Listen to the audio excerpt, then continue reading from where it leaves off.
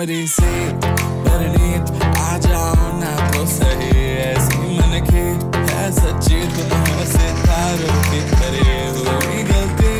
Sorry हमने गाया, तुम क्यों सुनी? किसकी मर्ज़ी?